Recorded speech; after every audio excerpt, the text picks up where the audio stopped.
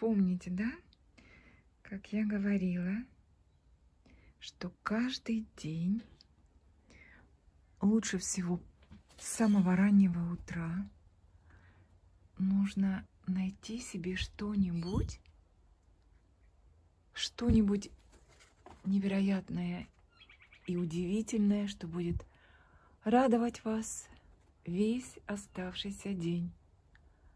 Это сказал великий писатель Рэй Брэдбери. И вот, что я нашла сегодня. Вот такое удивительное событие, которое будет радовать меня весь оставшийся день. Открылись все цветы, все вместе.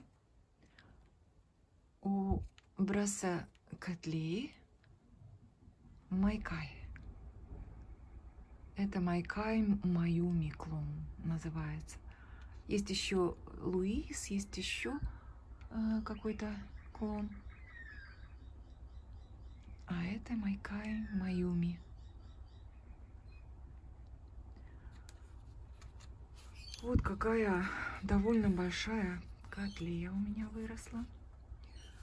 Вот я всем жаловалась, что она не цветет, и она действительно не цвела.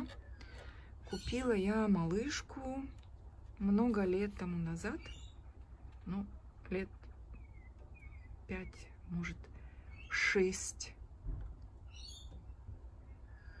Причем я купила малышку, у которой было заявлено, что это цветущий размер. Но каждый год она выращивала у меня 2-3 новых бульбы. Больше. Потому что вот, ну, за 5 лет какая она выросла. Больше, наверное, чем 3 каждый год. И никогда ни одним цветочком не расцвела. Ну, какие советы? Советы такие. Во-первых, свет. Самое главное, солнечный свет. Причем сильный. Я ее повесила, вешала в разные места, чтобы побольше света, чтобы на несколько часов прямого солнечного света, потом еще больше солнечного света чтобы ей доставалось вот до обеда как можно больше света, в самый разгар.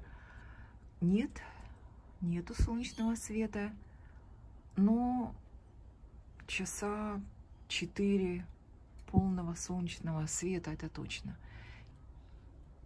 Полив.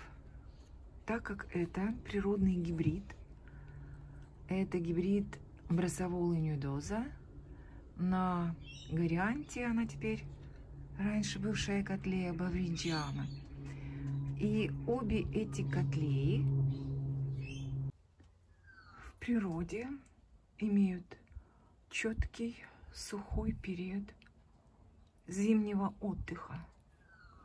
Где-то 2-3 недели она почти не поливается, только обрызгивается легким туманом ну, изредка обрызгивается легким туманом.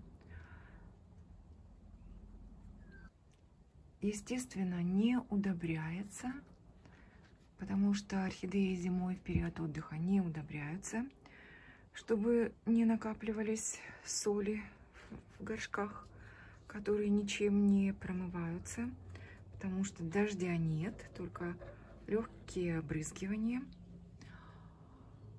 ну и этот гибрид впервые был сделан рукотворно в 1944 году. А вообще это природный гибрид и происходит в природе. Паринджана на нудозу. И сейчас этот гибрид называют просианти. Рассавола на горианти. Тут она у меня зимует под крышей. Я ее повесила к зимующим нобелей дендробиумам и котлейка там. Джинманиай сохнет, сухой отдых получает. И она у меня, майкай моя, она получала все осенние дожди. И чтобы она просохла после сильного дождя осенью, я ее повесила тут под крышу. И потом она у меня сохла, сохла. Но когда она отцветет, она не будет поливаться две недели. Потом я ее побрызгаю хорошенько, потом еще немножко посушу. Вот такой вот радостный у меня гибрид зацвел. Вот такая она крапчатая. Такая губа роскошная. Это от бросоволы, конечно. Ну и от бавриндианы цвет. Аромат у нее есть, и очень приятный аромат жасмина, но только ночью, потому что бросовольные гибриды пахнут ночью, и ранним утром она еще тоже пахнет, как и Сант-Андре, бросовольный гибрид. Мой тоже она пахнет ночью и утром очень хорошо. Поэтому днем, чтобы вас это не расстраивало, этот гибрид не пахнет. Насчет аромата скажу так. Она пахнет, как пахнут розовые пионы. Вот аромат похож на запах цветов розовых пионов. Не белых, не красных, потому что они все пахнут по-разному. А именно розовых пионов. Ой, ты кто? Ты кто? Паучок появился. Ну ничего, они все поедают всяких насекомых, паучки, они хорошие. А размер цветов, я должна вам сказать, небольшой. Вот он где-то, ну, где-то 7 сантиметров. Вот такой у этих цветов. Я думала, они больше, вот как Санта-Андрея, там огромные цветы, гибрид с бросоволой, бросоволы с Девианы. Еще один важный фактор в зацветании не только этой котлеи, но и других природных котлей, как валкириана, например, это отсутствие искусственного света ночью. Вот, чтобы не было какого-то фонаря, который светит в окно, а орхидеи стоят в поле его достижения этого света. Вот если натуральный свет, луна, полнолуние, да, вот одну неделю, наверное, светит эта полная луна, то это нормально. А вот искусственный свет является ночной искусственный свет является причиной нецветения многих природных орхидей и не только и не только балкирианы, не только касается это макай, возможно, и других природных орхидей. Для цветения очень многих орхидей и природных, и гибридных необходима полная темнота ночью, как я уже говорила. Но, но, как такие условия соблюсти? Ну вот как, если у меня именно моя майкай висела где? Вот здесь, только повыше. И что это за место?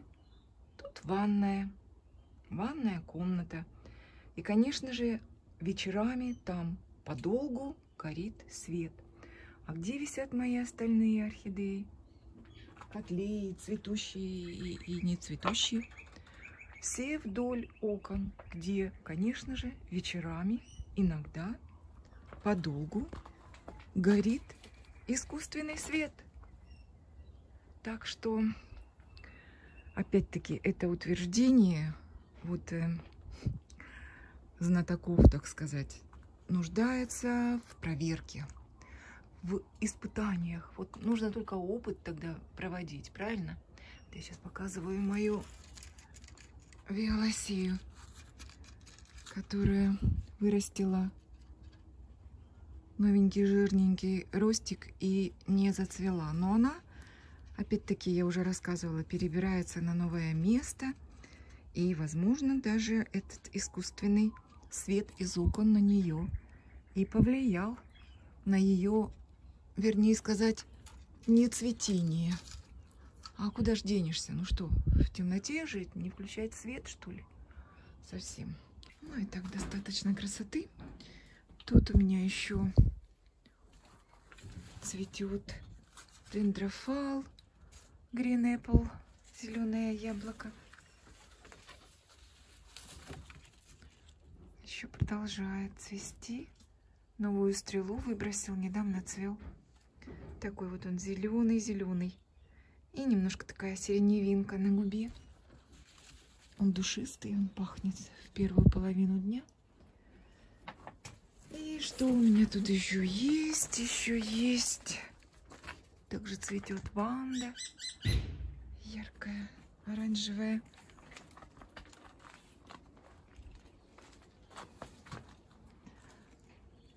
О, это красота.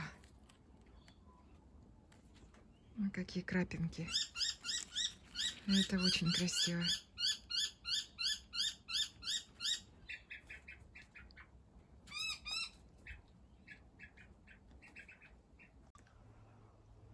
И Виктория Регина еще цветет. Сейчас покажу. У Ринка Стайлисов появляются цветоносы уже потихонечку. Вот она, Виктория Регина. Такой темно-синий с фиолетовым оттенком цвет у цветов. Она вот регулярно цветет в холодное время года. Время от времени один-два цветочка.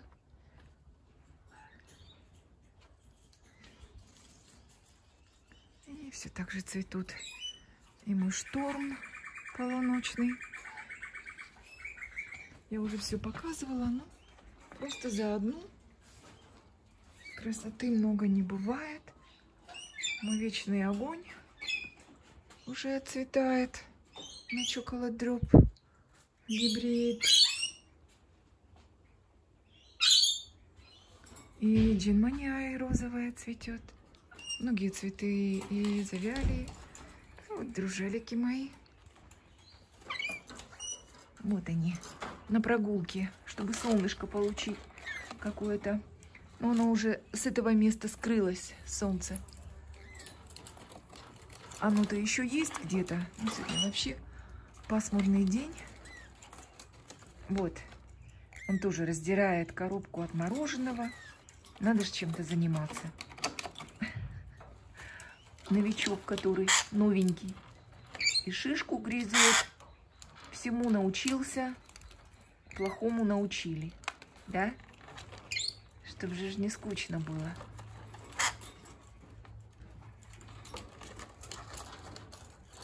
Ну, Беде моей, конечно, скучно тут. Ей бы в доме телевизор бы посмотреть. Ну, так им вдвоем тут нормально. Они переговариваются. Еда есть, все есть. Еду я специальную даю для этого вида попугаев. Вон он какой. Сидит, коробку грызет. Этот второй лорикит попугай.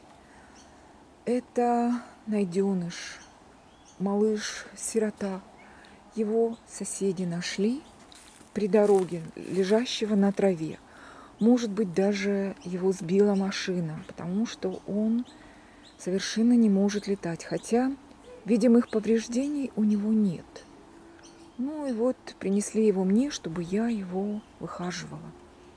Ну вот я его пытаюсь выхаживать. Летать он не умеет сразу слетает на пол. Поэтому не знаю, как его учить летать. Что ты делаешь, а? Тебе надо эта коробка? Надо.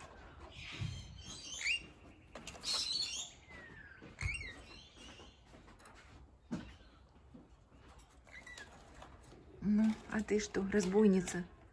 Дом хочет. Она только на дверь и смотрит. Бедолага. Заставили ее прогуливать малыша.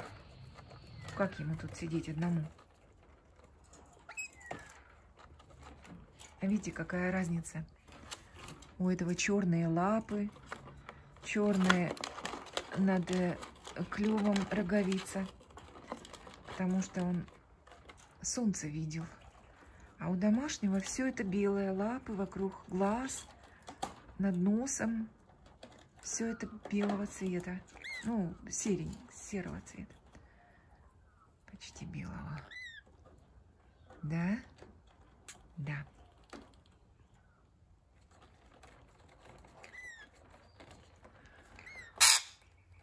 Недоволен съемками. Ну ладно, ладно, я ухожу. Он боится. Боится людей. Снег уже выпал. Так роскошно цветут белые цветы, изображающие снег в наших субтропиках. Всем добра и света. Пока-пока.